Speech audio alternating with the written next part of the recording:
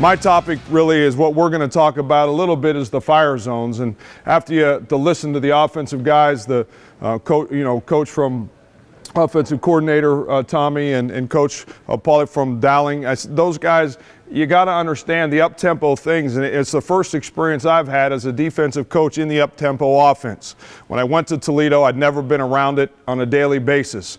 Um, it really helps you game plan and helps you get ready um, for what goes on. And I'd encourage any of you that if your offense isn't up tempo, when you're playing those up tempo teams, you've got to start and I never did. We never did before. Um, but you've got to prepare for that a little bit now. You can't just wait until the three days before. It's kind of like when I was at West Point trying to defend the option in three days. I would watch teams as we were getting ready at Army to go play teams and them trying to defend an option in three days. It can't be done.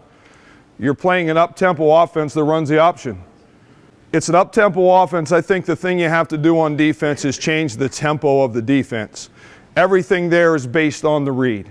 What you see them doing, how many guys they have in the box. Well, they've got five in there, we've got five, give the ball. That guy's halfway between the box, here he's in the box, throw the ball. So you're constantly trying to find ways to change what they read. That takes some time too because you saw how fast they're going to go.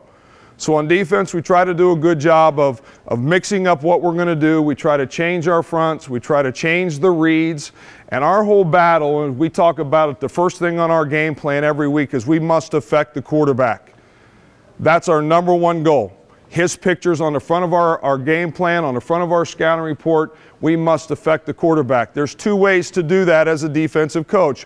One is mentally and one is physically physically get some hits on him. If he's going to carry the football in their offense, you've got to make sure that he pays the price to carry the football. It's hard to play offense these days without a quarterback. Okay? The second thing is you've got to affect him mentally. Mentally means you've got to give him something that he really that he thinks he sees, but it's really not there.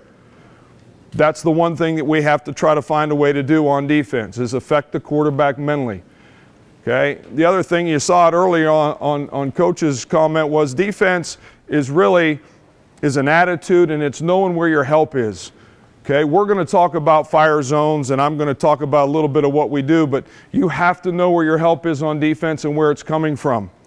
And that's, that's critical for your guys. We encourage our guys not to memorize the defense. You saw coach doing, you know, what we call can drills, running guys through different formations and blitzes and checks and all of those things. We do all of that.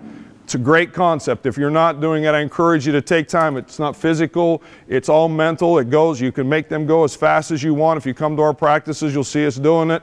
Um, we went and visited the NFL team a year ago. They were doing it. It, it forces your guys to think fast and play fast.